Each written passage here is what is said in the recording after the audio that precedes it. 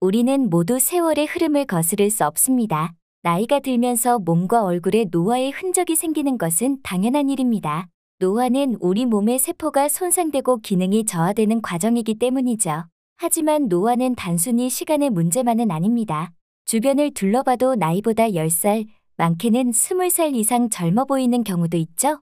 이처럼 특히 50대 이후부터는 무엇을 먹고 어떻게 살아가냐에 따라 노화의 속도와 정도가 달라지게 됩니다. 그렇다면 어떤 음식을 먹어야 노화를 늦추고 건강을 유지할 수 있을까요? 이번 시간에는 노화를 늦추는 천연 방부제 음식에는 어떤 것들이 있는지 김 박사님 모시고 알아보도록 하겠습니다. 네, 안녕하세요. 나이가 들어갈수록 우리는 더욱 깊은 깨달음을 얻게 됩니다. 어렸을 때는 사소한 일에도 기쁨을 느꼈던 것이 노년이 되면 기쁨을 느끼는 일이 더욱 특별하고 소중한 것으로 느껴지게 되죠. 행복한 노년을 즐기려면 가장 중요한 게 뭐가 있을까요? 돈도 중요하지만 건강이 당연히 가장 중요할 텐데요. 특히 노년에는 영양소 섭취가 매우 중요합니다. 젊을 때와는 달리 우리 몸은 노화되면서 영양소를 흡수하거나 이용하는 능력이 약해지기 때문이죠. 그래서 노년에는 음식 섭취에 더욱 주의를 하셔야 하는데요.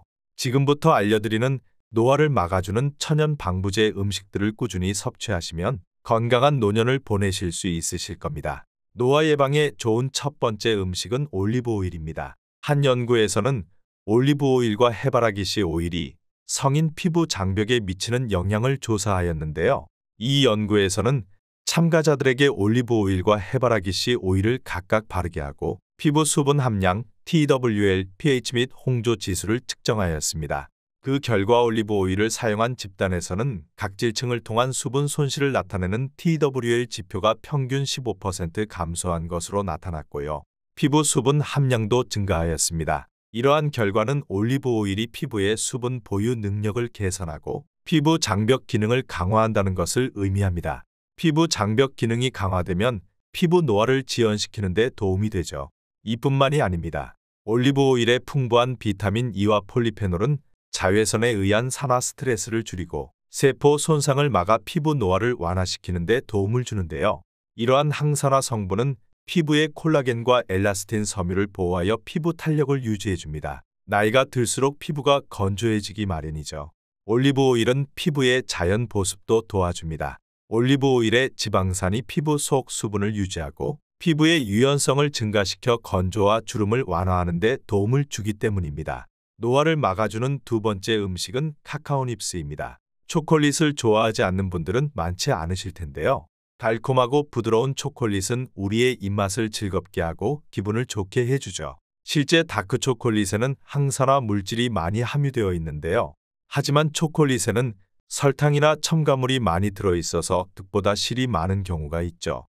이처럼 초콜릿의 효능을 보고 싶지만 건강이 걱정되는 분들에게 좋은 음식이 바로 카카오 닙스라는 식품입니다. 카카오 닙스는 초콜릿의 원료인 카카오 열매를 발효하고 건조한 후에 볶아서 부수어 만든 것으로 과거에는 왕족이나 귀족들만 먹을 수 있어 신들의 음식이라고 불리기도 했었죠. 이런 카카오 닙스는 세계에서 가장 항산화 작용이 높은 식품 중 하나로 알려져 있습니다. 카카오 닙스에는 설탕이나 첨가물이 들어있지 않기 때문에 칼로리가 낮고 카카오 본연의 영양소를 그대로 간직하고 있죠.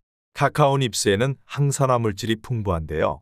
항산화 물질은 우리 몸에 유해한 활성산소를 제거하고 피부 노화와 주름을 방지하며 심장 질환과 암 등의 예방에도 도움이 됩니다.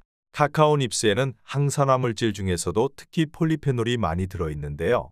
폴리페놀은 강력한 항산화 작용을 가지고 있는 성분으로 세포 내부에 존재하는 자유 라디칼을 제거하여 세포 손상을 예방합니다. 또 폴리페놀은 혈당 조절에도 효과적인데요.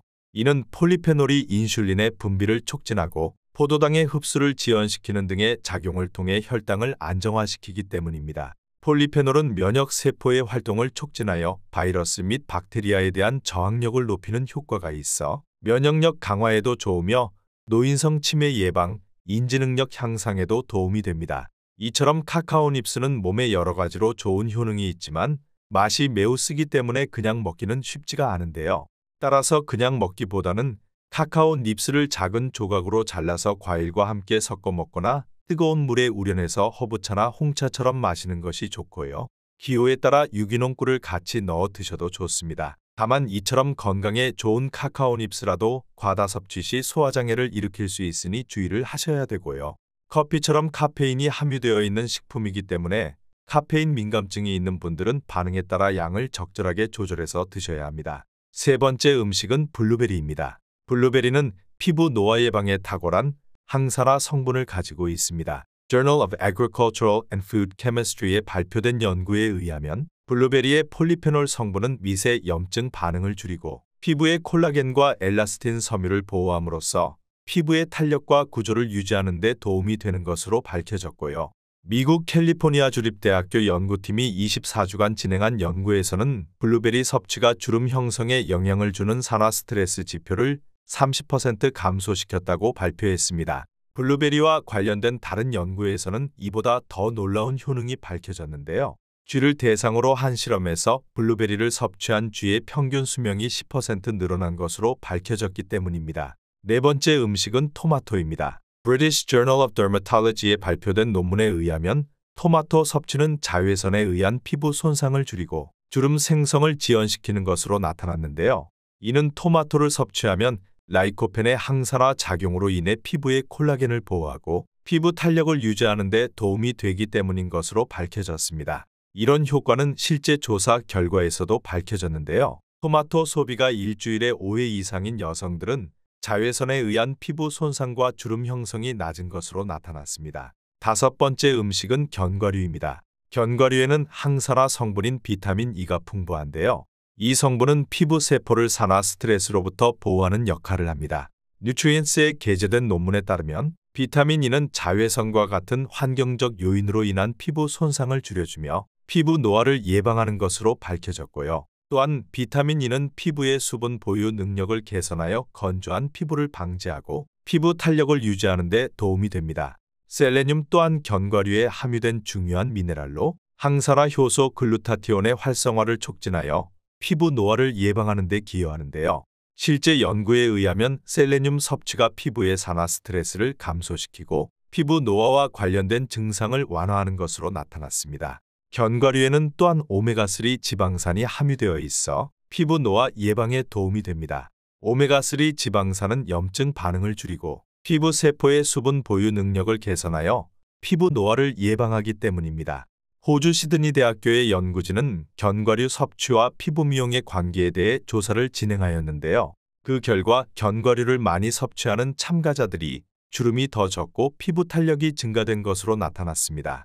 여섯 번째 음식은 녹차입니다. 녹차의 주요 항산화 성분 중 하나는 폴리페놀인 에피갈로카테킨 갈레이트입니다. Journal of Investigative Dermatology에 발표된 논문에 따르면 이지시즈는 피부 세포를 산화 스트레스와 염증 반응으로부터 보호하는 역할을 하는데요. 이는 자외선과 같은 환경적 요인으로 인한 피부 손상을 줄여주며 피부 노화를 예방하는 효과가 있습니다. 콜라겐은 피부의 탄력과 두께를 유지하는 단백질로 노화로 인해 감소하게 되는데요. 이지시즈는 피부의 콜라겐 분해를 억제하고 피부의 탄력을 유지하는 효능이 있습니다. 이뿐만이 아닙니다. 경희대학교의 연구팀이 진행한 실험에 의하면 녹차 섭취가 피부 손상을 일으키는 자외선 비에 대한 저항력을 향상시키는 것으로 밝혀졌고요. 또 다른 연구에 의하면 녹차에 함유된 카테킨은 항산화 효과와 더불어 염증을 억제하는 작용이 있는 것으로 밝혀졌습니다. 또 녹차의 항산화 성분은 혈관의 질소산화물 생산을 촉진하는데요. 이는 혈관을 건강하게 유지하고 산소와 영양분을 세포에 전달하는 데 도움을 주며 피부의 수분 보유 능력을 높여 피부노화 예방에도 좋은 효과를 보입니다. 만병의 근원은 스트레스라고 하죠. 녹차는 스트레스와 관련된 호르몬인 코르티솔의 분비도 줄여주기 때문에 꾸준히 섭취하시면 노화 예방에 좋은 효능을 볼 수 있습니다. 네, 박사님 말씀 감사합니다. 오늘 내용은 여기까지입니다. 오늘 영상이 도움이 되셨다면 주위 분들에게도 이 영상을 공유해 주세요. 다음 시간에 더 유익한 영상으로 찾아뵙겠습니다. 오늘도 건강한 하루 되세요.